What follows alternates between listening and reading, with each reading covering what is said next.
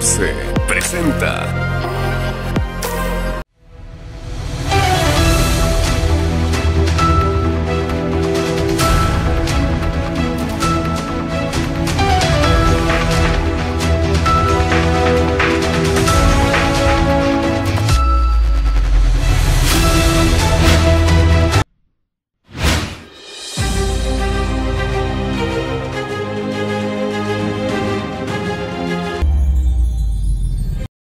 el objetivo de brindar más y mejores oportunidades a las madres de familia, Víctor Hugo aseguró que, de resultar electo como diputado federal, gestionará el regreso de las estancias infantiles y las escuelas de tiempo completo. El candidato de la coalición Fuerza y Corazón por México por el distrito número 6 federal declaró que estos programas nunca debieron desaparecer, pues era un gran apoyo para las madres mexicanas, ya que les permitía trabajar o estudiar sin la preocupación de no tener quien cuide a sus hijos. Por ello, destacó que desde el Congreso de la Unión le apostará a iniciativas que tengan un impacto directo en la calidad de vida de las mujeres de Yucatán y de todo México, al mismo tiempo que gestionará los recursos necesarios para que Cecilia Patrón y Renán Barrera puedan continuar transformando el Estado de manera positiva.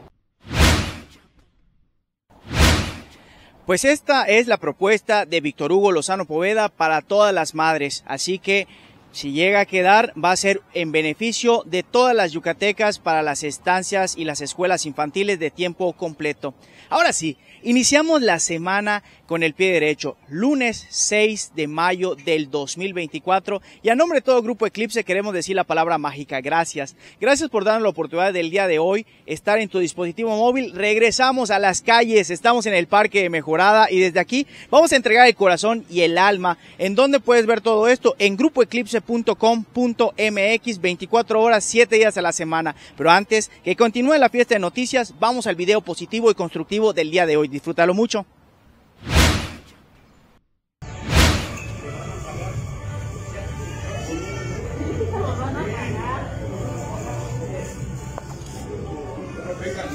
Ya vayas a su casa. Nada más tienes su canasta. ¿Ya? ¿Ya?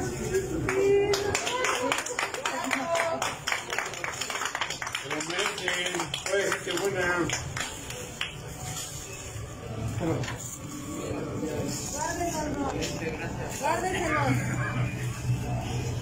Pásalos. A ver. A ver. Repártalos. Repártalos, por favor. Por favor, agua. Tírate Ya vayas a su casa, señor. A ver. Gracias. Ya vayas a su casa. ¿Y eso No, pero no. Pero ya, pero ya váyase a su casa, y eso ya no los venda. Ándale, ya váyase. Ya que se vaya.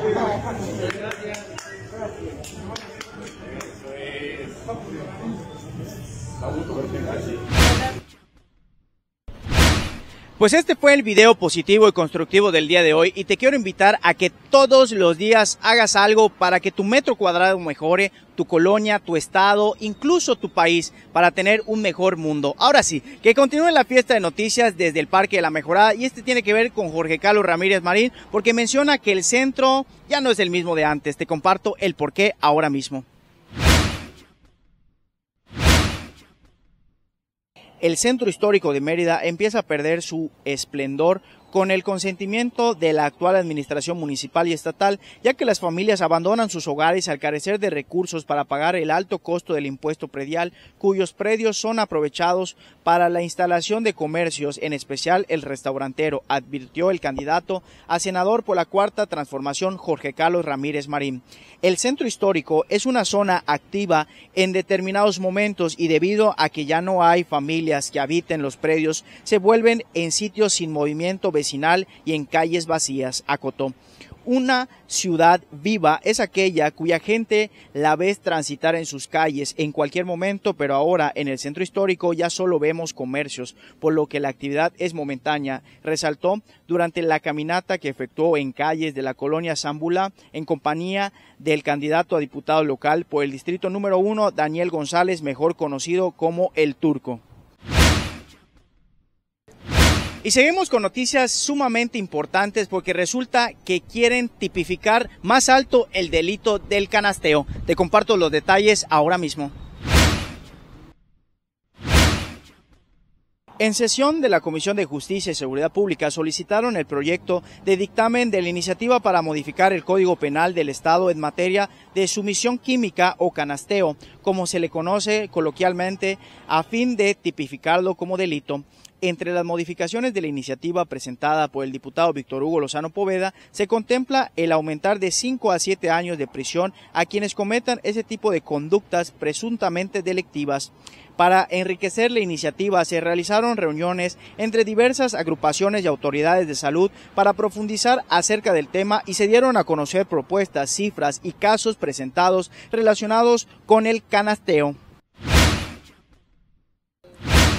Regresamos a donde se generan las noticias, en las calles, y estamos sobre la calle 50 en el Parque de la Mejorada, entregando el corazón y el alma todo Grupo Eclipse. Y te quiero invitar a que vengas a este parque, ya sea a pasear, hacer ejercicio, comer un helado o, por qué no, simplemente meditar contigo mismo o contigo misma. También te quiero hacer la siguiente invitación a que vayas a grupoeclipse.com.mx porque ahí vas a encontrar todo lo necesario para que estés informado y entretenido 24 horas, 7 días a la semana y desde el Parque La Mejorada que está muy cerca del Parque de la Plancha. Vamos al siguiente corte comercial, quédate con nosotros, estás en Eclipse Noticias, más cerca de ti. Bienvenidos a esto que es el epicentro de las noticias. No puedo. Eclipse Noticias con Antonio García. Con Antonio García. Bienvenidos a esto que es el epicentro de las noticias. Hoy Yucatán está viviendo un momento histórico. La nueva presidencia digital presenta Eclipse Noticias con Antonio García. Hoy en el Chef de la Noticia tenemos un menú exquisito para que paladees este fin de semana. Cando, ¿de qué lo hicieron? De gabardina corriente. ¡Ay! ¡De maricón! ¿Estás viendo que están cortas mis piernas? ¡Detente! ¡Detente! Ay, ma, está choreadito tu chuchu, pero sí aguanta. ya. Macta te espera todos los viernes para disfrutar juntos de lo más divertido de la semana en él. Aquí en el Check de la Noticia, televisión, streaming, eh, pues pueden vernos en Eclipse TV, Eclipse Radio, búsquenos en la web y allá nos van a encontrar. Todos los viernes por nuestras plataformas digitales de Grupo Eclipse.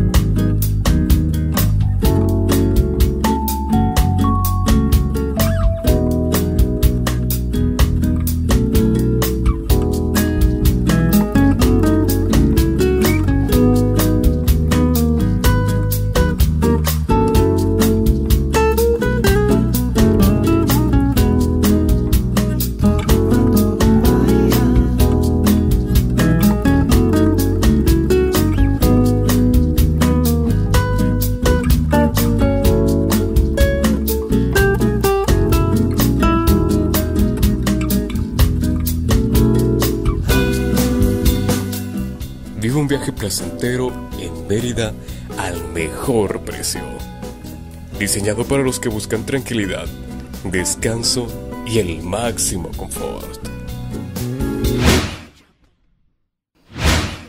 Muchas gracias por continuar con nosotros en tu noticiero Eclipse Noticias. Estamos transmitiendo con el corazón y el alma desde el Parque Mejorada. Y si tú nos acabas de sintonizar, no te preocupes, como dicen por allá, más vale tarde que nunca. Y te quiero compartir el resumen para que estés en la misma sintonía. Y este tiene que ver con el tema del literal el canasteo. También el Jorge Carlos Ramírez Marín comenta que las casas del centro ya son diferentes y Víctor Hugo Lozano Poveda le está apostando a la escuela y a la estancia infantil si es que llega a ser seleccionado. Te comparto los detalles de este resumen. Yo me quedo aquí junto con Roger. ¿En dónde? En el Parque de la Mejorada.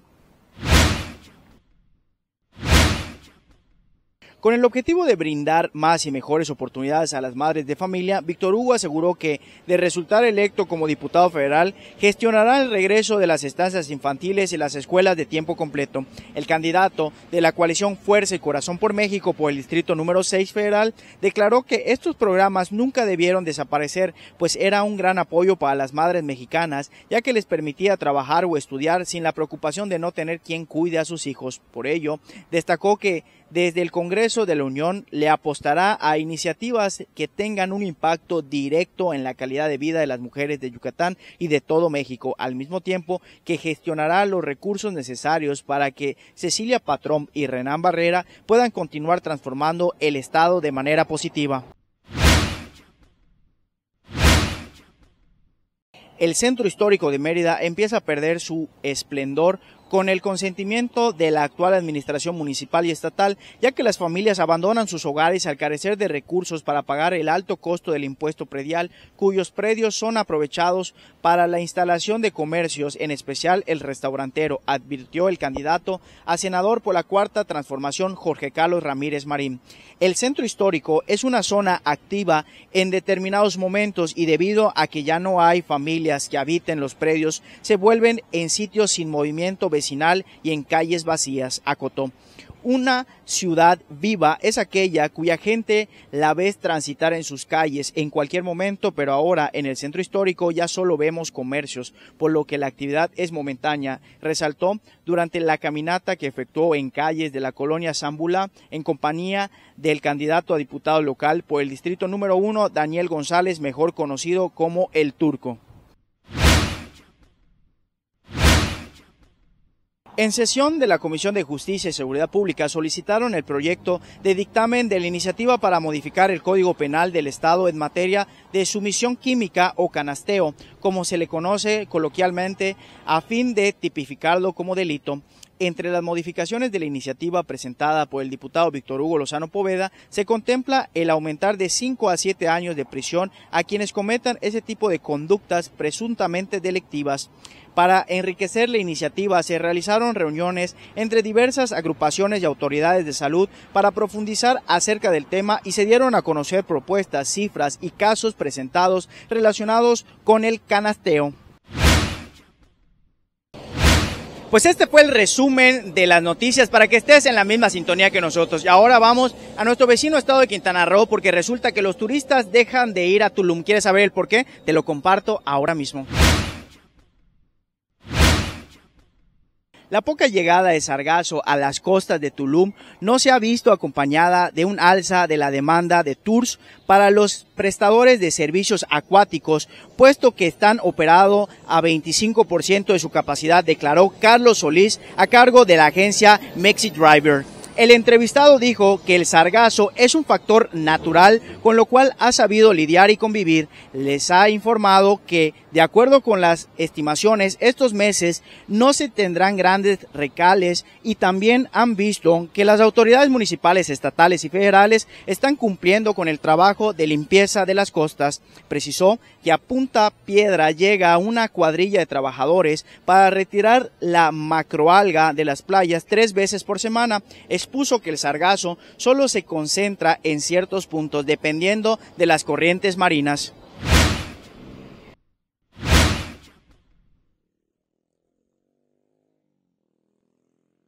Lo que acabas de ver es el paradero moderno del Yetram, transporte público 100% ecológico aquí en la ciudad de Mérida, Yucatán. Y desde aquí te quiero compartir la siguiente noticia porque el alcalde de Mérida, Alejandro Ruz Castro, le apuesta a la vivienda en donde, en el sur de la ciudad. Te comparto los detalles ahora. Como parte de la estrategia para alcanzar el rezago cero, el alcalde de Mérida, Alejandro Ruz Castro, acudió esta mañana al fraccionamiento Bellavista, donde supervisó las acciones de vivienda que se construyen en esta zona ubicada al sur de la ciudad.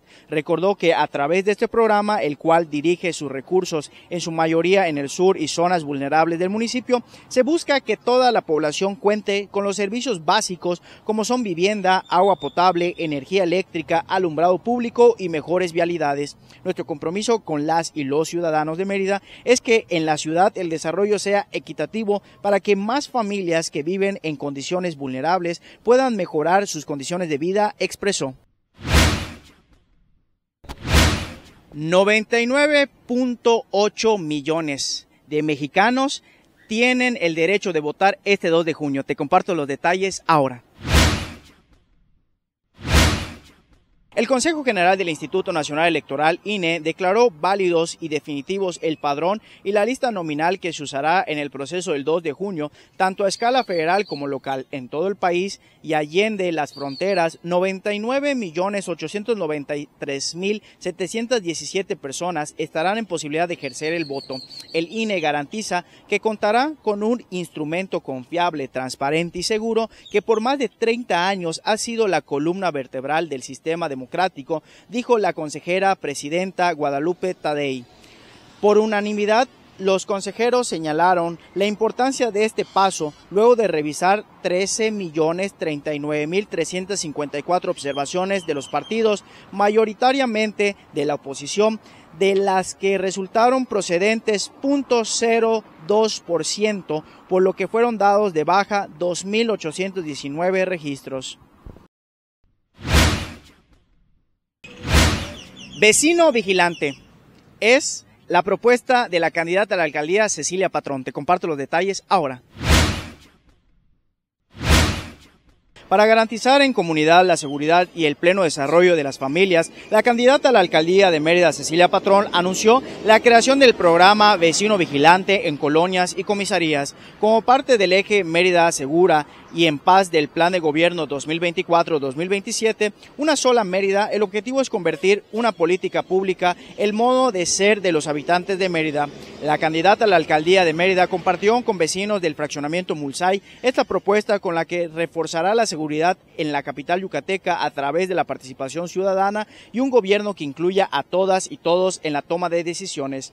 Mérida es una ciudad segura porque los vecinos participamos, somos solidarios y nos preocupamos por el otro, pero ahora lo vamos a hacer de forma organizada, externó Cecilia Patrón. ¿Dónde puedes estar informado y entretenido 24 horas, 7 días a la semana, en donde únicamente necesitas un dispositivo móvil y conexión a internet? Es sencilla la respuesta y te la quiero compartir. Grupoeclipse.com.mx, ahí todo el equipo de Grupo Eclipse entrega el corazón y el alma para que estés informado y entretenido. Y también, si nos quieres ir a visitar de forma física, estamos sobre la calle 69, muy cerca del ADO en la colonia centro de aquí de la Blanca Mérida, Yucatán. También te quiero invitar a que vayas a todas las secciones que tenemos para ti, series, caricaturas, películas, el check de la noticia, también tenemos derecho de réplica, hay un buffet para ti. 24 horas, 7 días a la semana. Y desde el Parque La Mejorada vamos al siguiente corte comercial. Quédate con nosotros, estás en Eclipse Noticias, más cerca de ti. Hoy en el Check de la Noticia tenemos un menú exquisito para que palades este fin de semana. Cando, ¿de qué lo hicieron? De gabardina corriente. ¡Ay! ¡De maricón! ¿Estás viendo que están cortas mis piernas? ¡Decadente! ¡Decadente! Ay, ma, está choreadito tu chuchu, pero sí aguanta. Macta te espera todos los viernes para disfrutar juntos de lo más divertido de la semana en él. Aquí en el Check de la Noticia, televisión, streaming, eh, pues pueden vernos en Eclipse TV, Eclipse Radio, búsquenos en la web y allá nos van a encontrar. Todos los viernes por nuestras plataformas digitales de Grupo Eclipse.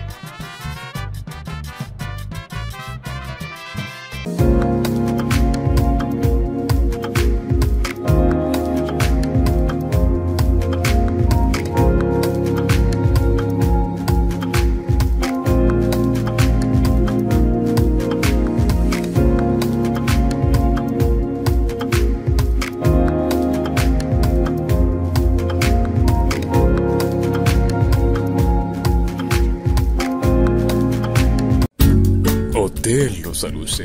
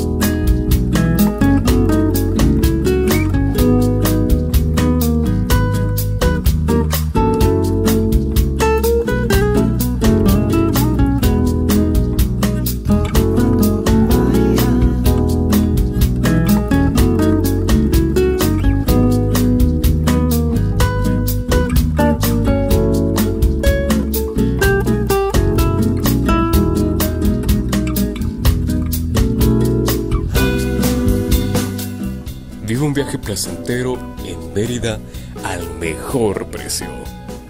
Diseñado para los que buscan tranquilidad, descanso y el máximo confort.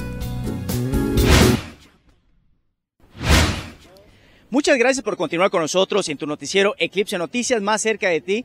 Somos únicos y pioneros de los noticieros que transmitimos y entregamos el corazón y el alma donde se generan las noticias, en las calles y hoy nos tocó estar en el Parque La Mejorada y desde aquí te quiero compartir la siguiente nota a nivel internacional porque resulta que Turquía suspende todos los intercambios comerciales con Israel. Te comparto el por Turquía suspendió todas las relaciones comerciales con Israel y detuvo todas las importaciones y exportaciones. Desde este jueves informó la agencia Bloomberg citando a dos funcionarios turcos. Turquía suspende desde el jueves todas las exportaciones e importaciones con Israel, indicó el medio. Más temprano, este jueves, el presidente de Turquía, Recep Tayyip Erdogan, acusó a Occidente que apoya a Israel de carecer de la valentía necesaria para declarar un alto al fuego en la franja de Gaza. En una llamada telefónica con su homólogo de Gambia, Adama Barrow, el líder turco declaró que el mundo islámico debe actuar de un modo solidario para detener los ataques israelíes contra Gaza y garantizar el cumplimiento de las resoluciones de la Organización de las Naciones Unidas, ONU. Y desde el Parque de la Mejorada te quiero compartir desgraciadamente la hatch de las noticias, como decimos los yucatecos, o la última, y este tiene que ver con Huacho Díaz Mena, porque fue a Tzutzal a decir que va a proteger el caso del Istey. Te comparto los detalles ahora mismo. En el marco del Día del Trabajo, el candidato de Morena, PT y PBM a gobernador Joaquín Díaz Mena se refirió a unas acciones que emprenderá para rescatar al ISTEI de la crisis en la que se encuentra. Dijo que esa situación es producto de gobiernos anteriores que nunca se han preocupado por los derechohabientes. Afirmó que su administración les dará certeza y la restitución de sus derechos, indica un boletín. El candidato recordó que su labor ha sido del lado de la gente trabajadora y por ello atenderá con inmediatez el caso del ISTEI en beneficio de los trabajadores del Estado. En Tzutzal acompañó a la candidata a presidenta municipal Verónica Quiñones a un encuentro con el pueblo. Pues desgraciadamente tenemos que decir hasta luego, pero recuerda, tenemos una cita todos los días de lunes a viernes en punto de las 10 de la mañana. Estamos transmitiendo donde se generan las noticias y somos pioneros y únicos de los noticieros y hoy nos tocó estar en el Parque La Mejorada. Lunes 6 de mayo del 2024. Muchas gracias por dar la oportunidad del día de hoy empezar la semana con el pie derecho. Te recuerdo todo lo que estamos entregando. Lo puedes encontrar, ¿sabes en dónde? En grupoeclipse.com.mx, 24 horas, 7 días a la semana, estamos entregando el corazón para ti, para que estés informado y entretenido. Y desde aquí, desde el Parque La Mejorada, también te quiero compartir la frase diamante, que es la siguiente. El éxito no va a ir a tocarte la puerta. Tú tienes que ir a abrir todas las puertas para que el éxito y tú se encuentren. Nos vemos mañana en punto de las 10 de la mañana.